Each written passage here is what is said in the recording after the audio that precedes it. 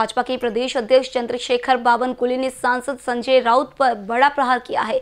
उन्होंने कहा कि राउत महाराष्ट्र को दो चश्मे से देखते हैं। खरं तर त्यांना दोन चष्मे आहे एका चष्म्यातून ते बघितलं की त्यांना पूर्ण हिरवं रान दिसते. आणि दुसरा चष्मा जो आहे त्यात हिरवं रान असेल तर त्याला त्यांना तिथे कोरडा दुष्काळ दिसतो.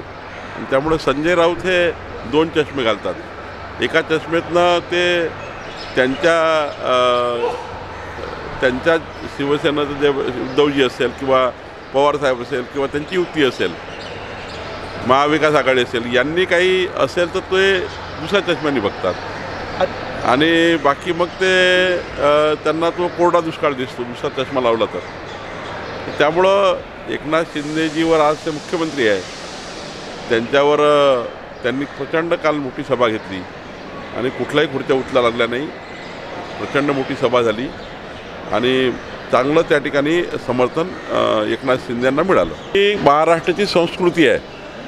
जर उद्या शरद पवार साहेबाचा कार्यक्रम असेल त्या ठिकाणी मोदीजी गेलेत त्या ठिकाणी अनेक वेळा आता प्रफुल्लबाईच्या कार्यक्रमामध्ये देवेंद्रजी गेलेत किंवा जाणार आहेत. ही तर संस्कृती आहे. हीच संस्कृती जपली पाहिजे. म्हणूनच तर मी सांगितलं आहे. तो सकाळी नऊ वाजताचा पोंगा बंद झाला भोंगा बंद झाला तर कमीत कमी ही संस्कृती जपता येईल. म्हणजे नऊ वाजता जे भोंगा सुरू होतो तो दिवसभर चालतो. आता तो नऊ वाजता भोंगा टोमनेच मारतो दिवसभर. त्यामुळं मला वाटतं हा भोंगा जर बंद झाला तर महाराष्ट्रामध्ये खरं पक्ष विरोधी पक्ष आणि सत्ताधारी पक्ष मिळून महाराष्ट्र क्रमांक एकवर नेता येईल. जर सकाळी हा भोंगा बंद झाला आणि दुसरं काही वैचारिक भूमिका समोर आली महाराष्ट्राच्या विकासाकरता हे केलं पाहिजे महाराष्ट्राच्या विकासाकरता ते केलं पाहिजे.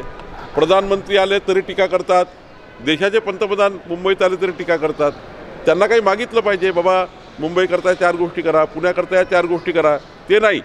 पण मुं देशाचे पंतप्रधान आले तरी टीका करतात. म्हणजे सकाळी नऊला उठले तर ते सकाळी लिहून काढतात आणि ते टीका करतात. माझं म्हणणं हा महाराष्ट्र असा नाही आहे. टीका कशाला करता? चांगले काम सांगा. सरकार तुमचं स्वागत करेल.